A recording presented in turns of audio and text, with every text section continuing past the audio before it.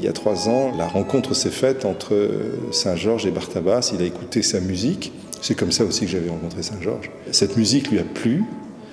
L'histoire, évidemment, aussi, du personnage Saint-Georges. Saint-Georges est né en 1745, dit-on un certain 25 décembre.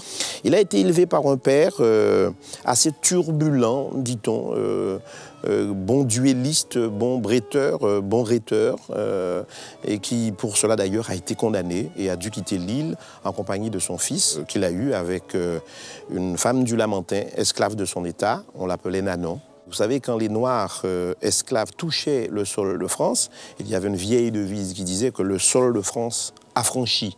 Et donc, il a pu, euh, en France, euh, rentrer avec, disons, son fils sans mêler. La première fois qu'on a ici des fêtes un petit peu différentes, c'est justement cette année. Bartabas a, fait le lien avec le XVIIIe siècle, avec les idées nouvelles du XVIIIe siècle de la libération des esclaves, et de cet Africain qui a un lien avec la cour puisqu'il est musicien et qu'il est présenté à Versailles, qu'il joue pour Marie-Antoinette. Donc il y a ce, milieu de la cour particulier à l'époque qui est peut-être plus intime, mais dans lequel euh, ce Saint-Georges pénètre vraiment et, est accepté. on ne sait pas la durée du spectacle actuel, donc, euh, parce que c'est la première fois qu'on va tout faire à la suite. À mon avis, on est autour de deux heures.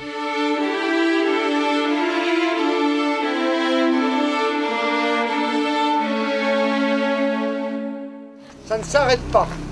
Hein, donc euh, s'il y a un problème, euh, c'est à chacun d'arranger le coup pour que hein, euh, ça ne se voit pas et vous enchaînez, d'accord?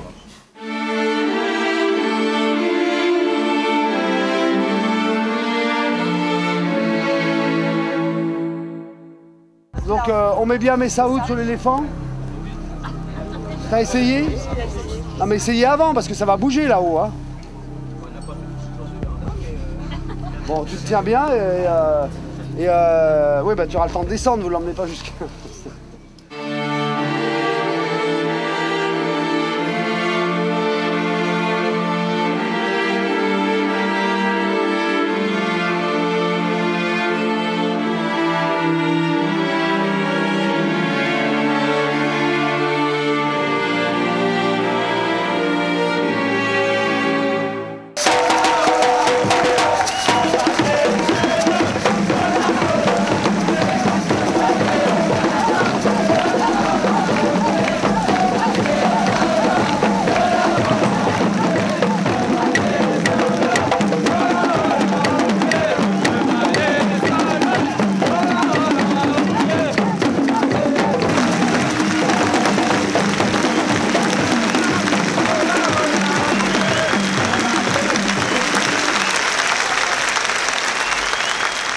Ce n'était pas pour être le meilleur que je luttais ainsi comme un gladiateur dans l'arène.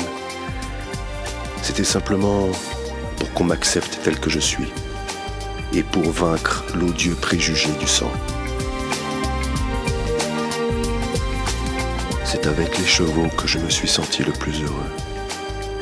Eux m'ont apporté ce que les hommes me refusaient. Ils m'ont pris comme j'étais, sans se soucier de la couleur de ma peau.